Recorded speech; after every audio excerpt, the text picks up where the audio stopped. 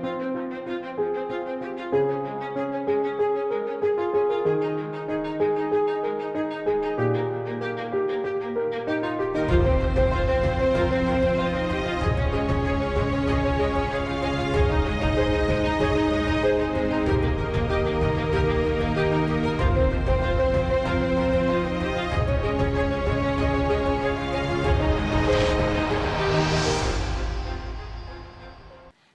大家好，欢迎收看由舍得酒独家冠名播出的《遇见大咖》。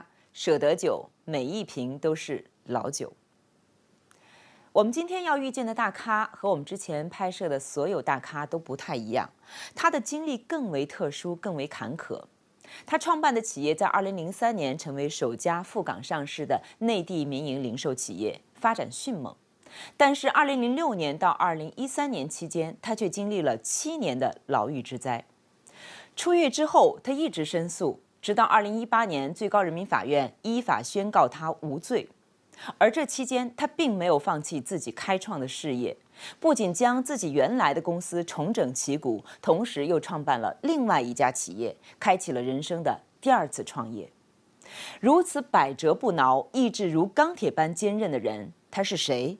让我们一起遇见物美集团和多点的掌门人张文忠。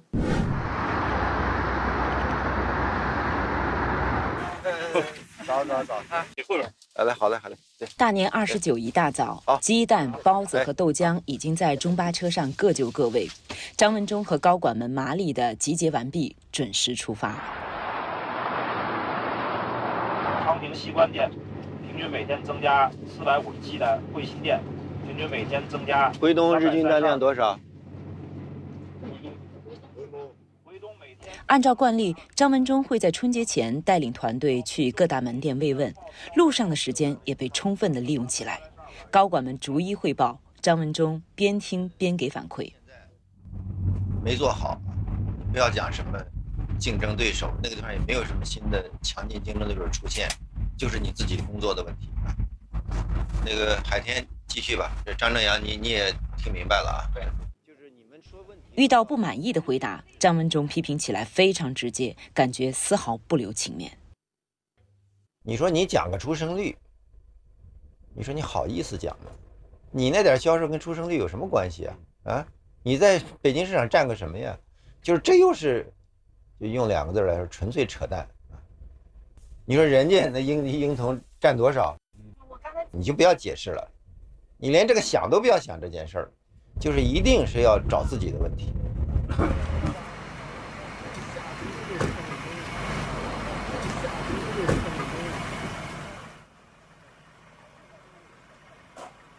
董事长早上好。哎，早。啊早。早早早。这个调改之后，这个效果怎么样？调改之后效果非常好。你没这么早来过店里吧？没有。这个零售行业啊，非常的辛苦。这是别人理解不到的，而且呢，这也是一个，就是说，你这个付出很多，但是更多呢是在保民生，它不像有的行业是暴利，是吧？我们这都是叫保本微利。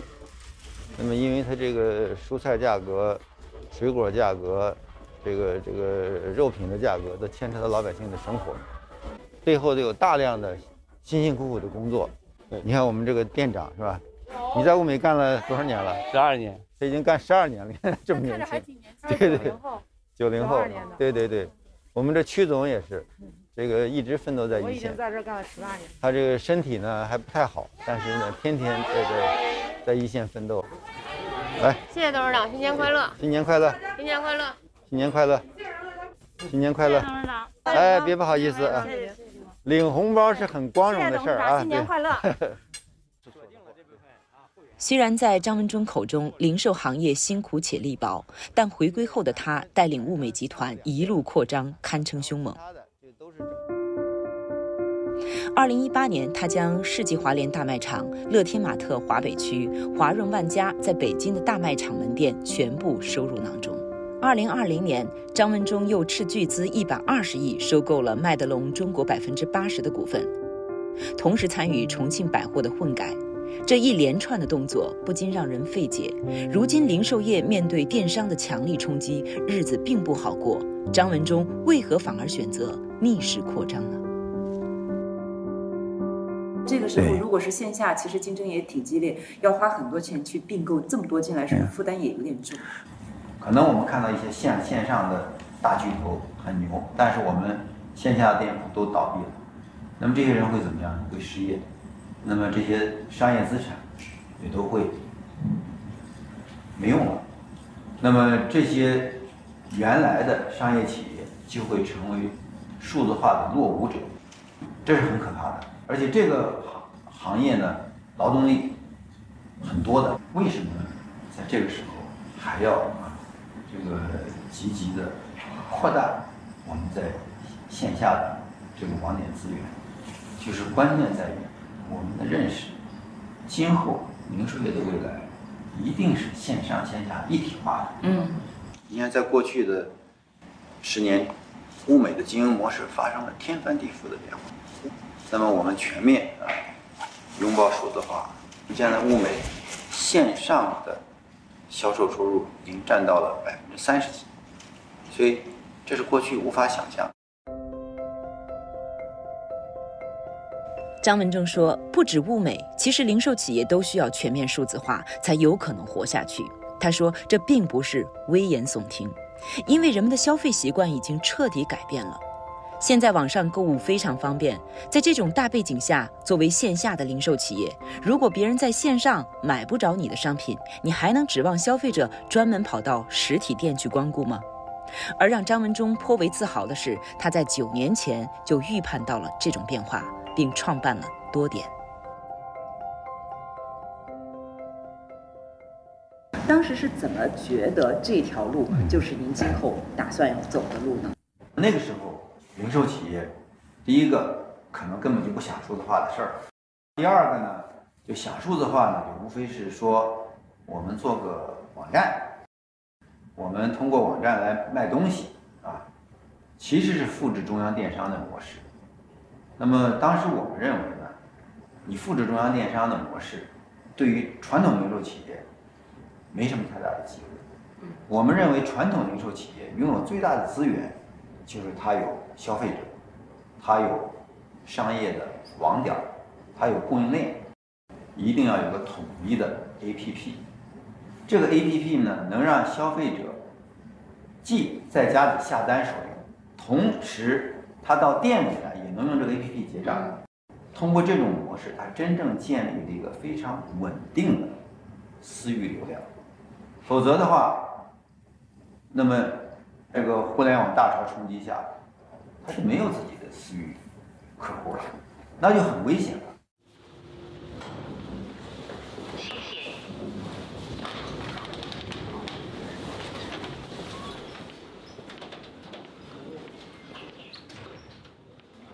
为了不让危险兵临城下，张文中在过去的八年向多点倾注了很多精力。他说：“如今越来越多的消费者可以通过多点 App 下单购物，但是多点的价值并不局限于此。他们做的更重要的事情是服务零售企业，希望用科技的力量来改变这个行业，帮助其完成数字化。”你怎么为他们赋能？你到底能为他们干什么事儿？呃，首先呢。多点为零售企业赋能，并不要求你一定要用多点 APP。零多点可以帮助零售企业开发 APP，比如说可以有麦德龙 APP，可以有七幺幺 APP。像七幺幺这样的，或者麦德龙这样的，他自己有没有一套自己的这个数字化的系统呢？我可以非常坦率的告诉你，在多点。帮助七幺幺、帮助麦德龙去做这个系统之前，他们没有，因为多点是这个领域的开拓者。在二零一五年，多点啊系统刚刚推出来的时候，整个中国没有这个系统，亚洲没有这个系统，世界也没有这个系统。多点 OS 系统就提供了一套新的解决方案，因为它完全是基于数字化的，让你这个选择。你点完之后，马上和你的想要的想想要的东西结合在一起，后台给你生成一个订单。听起来这个挺简单的，但是如果在数字化之前，这一套是很复杂的。而且啊，我们现在后台供应链全程数字化，这个商品从供应商到了七幺幺仓库，那么再从七幺幺仓库到门店，一路都是按照数字化的模式对它全程的进行监控。但是我我就在想，这个渠道和方式和去推广的这个这个这个难不难啊？就是说给他们讲明白这个，就是的确是不容易，这是一个知识密集、嗯，技术密集，同时又人力密集的事儿，所以这个是挺难做的一件事儿挺难做的。那么，但是呢，我们是充满信心，为什么呢？我们觉得这个事儿很难做，那么才适合我们做。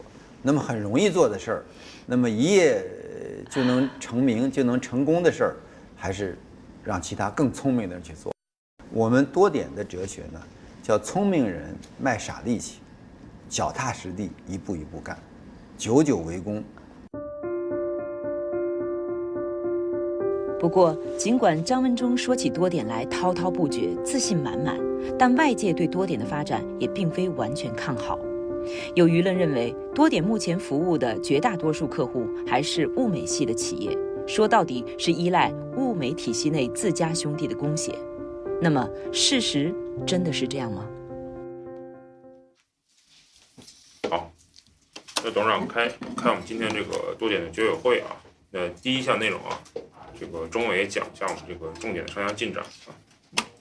好的，这个应该近期啊，就是年前后这一个月还是捷报频传的。我们跟罗森中国啊，跟这个胖东来、呃丹尼斯，包括跟山东盛豪都这个进行了战略签约。应该说这几家企业都很有代表性。然后像胖东来呢是区域的这个龙头，大概七十个亿的营业额，丹尼斯有三百多个亿。这样，咱们这个别因为电视台来了，咱们就就这个改变我们开会模式，我们还是用用用这个分享会的方法，给大家五分钟吧。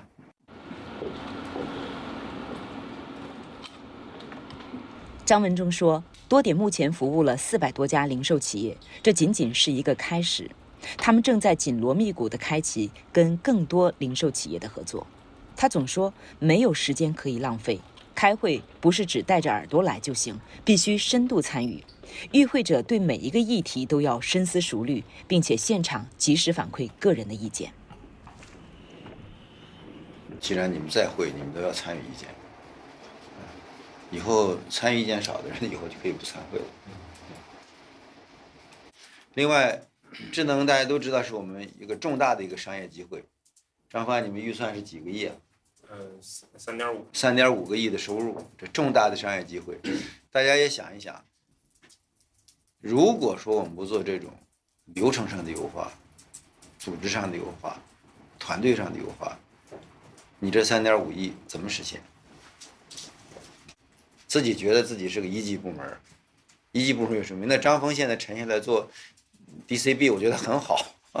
原来说这公司领导，你领导谁呀？领导，我们就这点事儿，对不对？那你说现在有有些细节可能，一凡，我想的比你还周到，那你说是不是？我这个没发挥我作用，我应该更宏观呀？没用，宏观和微微观总是打通的。如果不懂微观的人，不脚踏实地的人，就没有宏观，哪有什么宏观？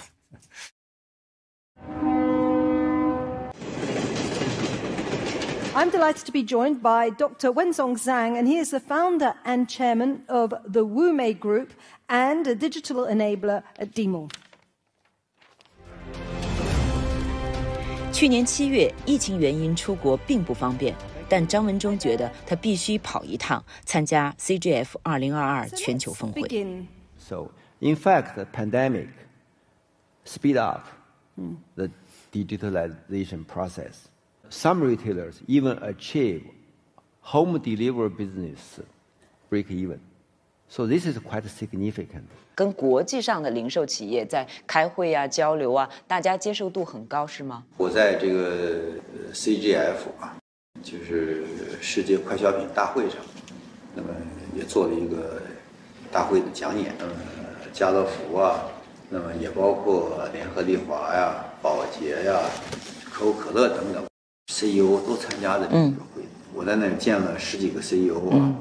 那么我们发现啊，全世界的这个零售企业啊，全面数字化的这个条件越来越成熟。嗯，我们觉得这方面呢，呃，是大有可为。虽然我们有四百多个客户，以后可能是四千，以后可能是四万，以后可能是四十万个零售企业。那么我们更看到国际市场大有潜力。国外有没有对标的企业呀、呃，现在像我们这么全面的还没有，但是就很多的局部，现在也开始有了。那么大家也都在这个赛道上拼命的往前赶，所以我们现在也很有紧迫感。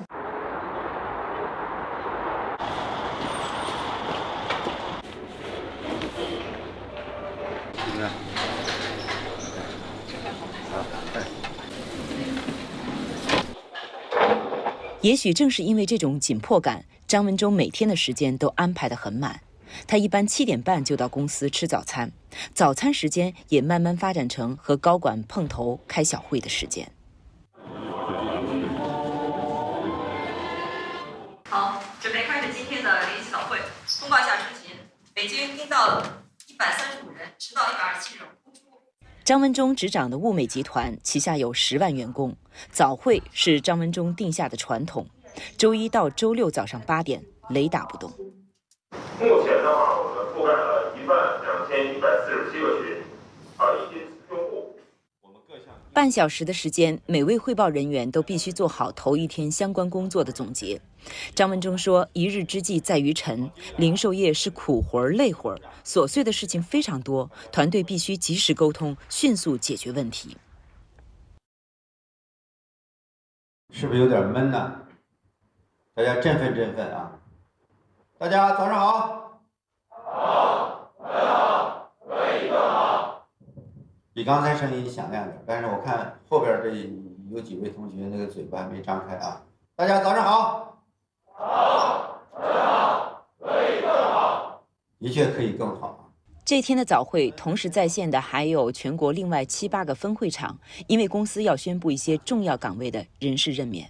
刚才啊，张师跟我说：“哎呦，太突然了，怎么这个架构怎么突然就就就调了？今天就坐这儿了。这个事儿我们还用拖泥带水研究上三个礼拜、两个礼拜吗？没有这个必要，大势所趋，而且只有这样。”你们才能有更好的业绩。我在这提醒大家，我们每个人呢，都要有一个正确的一个观念啊，不要啊计较啊自己在什么位置，自己的官儿大小啊，自己跟谁汇报。重要的是你如何发挥作用。今年我们的目标，我们在数字化方面最重要的目标是什么？苏静美。知道吗？李媛、郝洪涛都没人知道，啊？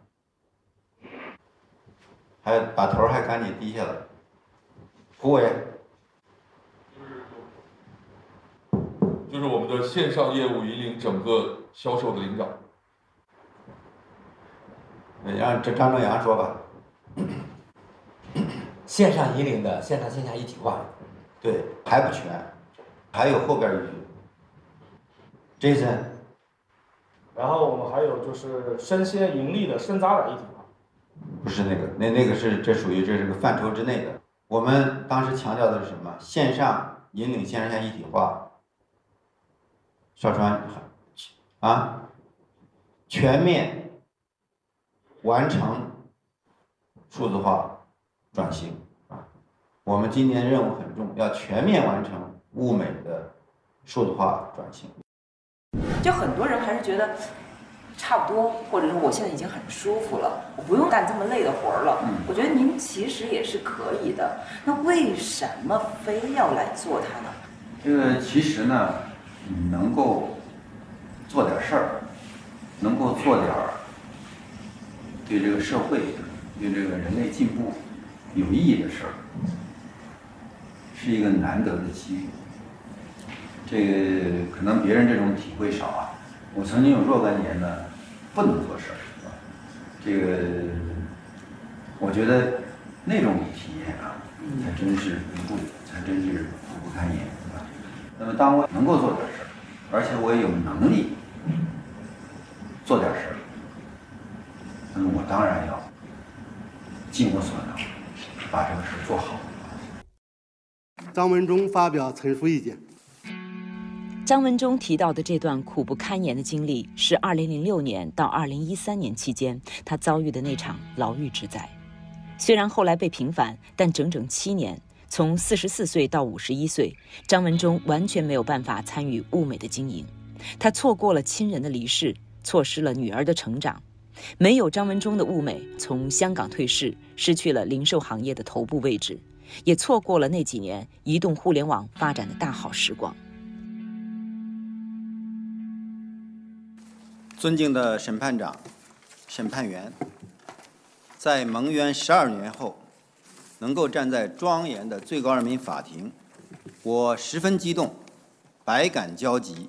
人生是一次旅行。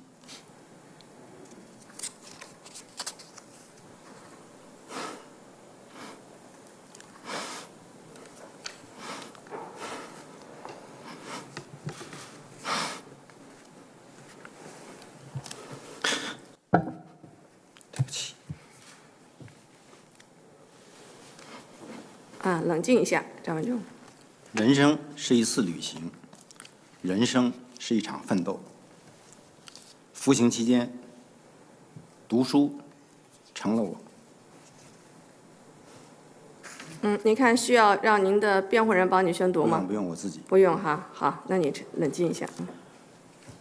读书成了我坚守信念、抗击孤独、磨练意志、增强智慧、追求卓越的生存方式。我始终相信党，相信国家，相信公平正义。你不怕困难吗？你遇你遇到困难的时候是什么样子？其实做企业，你采访过这么多人啊，那么你一定很清楚一句话，叫“经历就是财富”啊。因为我的经历啊，那么太困难了啊，那么可以说是经历了。那么，我觉得百分之九十九啊，点九九的人啊，都没有经历过的艰难困苦，是吧？那么，那么绝望，可能是这个无限的绝望，都已经经历过了。所以，就当前这些事情，对我可能不是一个什么太大的事儿。张文中一九六二年出生，一路成长，称得上是别人家的孩子。他一九八三年毕业于南开大学数学系，一九八七年硕士毕业后，他被分配到国务院发展研究中心从事宏观经济研究。在此期间，他获得了中国科学院的博士学位。此后又赴美国斯坦福大学攻读博士后。后来在硅谷的经历彻底点燃了张文中的创业梦想。一九九三年，他回国创办了一家企业做 POS 机，希望用科技改变零售业。但是因为理念太过超前，没有人使用。为了推广 POS 机，他创办了物美。此后一直和零售业共舞三十年，至今。普通人来讲，哈。在这个取舍，舍什么得什么，有没有什么好的建议？其实，这个人生呢，都要做很多选择啊。这个选择，那就是取和舍啊。那么你选了一件事情，可能你就放弃了另一件事情。你比如说我在九二年啊，那么离开国务院发展中心，那当时。那么很多人都不理解嘛，啊，你在发展中心，对，前程似锦啊，而且我已经在那工作了，我离开的时候三十岁嘛，我那时候但是已经工作了五年了啊，这个而且也小有成就啊，这个但是呢，我呢当时的认识啊，就是经济发展啊，是我们国家的未来。那么科技进步是人类的命运。那么创新是实现科技进步和经济发展的必由之路。企业家就是创新的核心力量。这一晃，这也是三十年过去了，所以我这儿也很难给朋友们提什么歉意。那么该舍什么，该得什么。但是我觉得人呢，就是还是要这个有一种大的格局啊，有一种这个全面的思考，那么有一种担当啊，那么有一种义无反顾啊，不要太多的纠结，不要太多的局限于当前的得失。那么其实啊，你在你的奋斗中，那么很多事情都会有答案，那么很多问题也都会迎刃而解。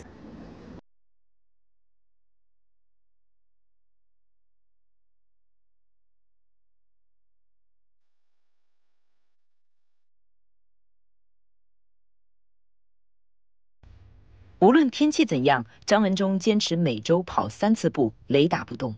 他说：“重要的是自律，你管理好你自己，再大的问题就都不是问题。”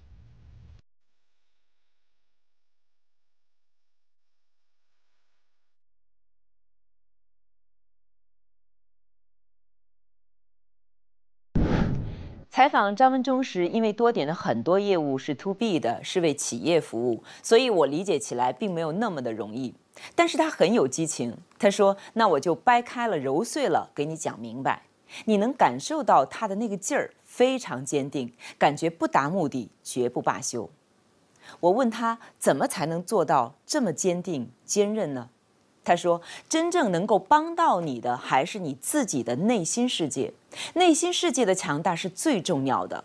无论你跌落到哪里，你都必须坚持读书和学习。只有学习能让你的内心变得强大，让你自己稳住自己，并且能让你自己相信未来，相信美好，支撑你克服一切困难，走向光明。”感谢张文中。好，感谢收看由舍得酒独家冠名播出的《遇见大咖》，舍得酒每一瓶都是老酒。我们下期节目时间再见。你看，这都是我们生产线，嗯嗯，全都是自动化。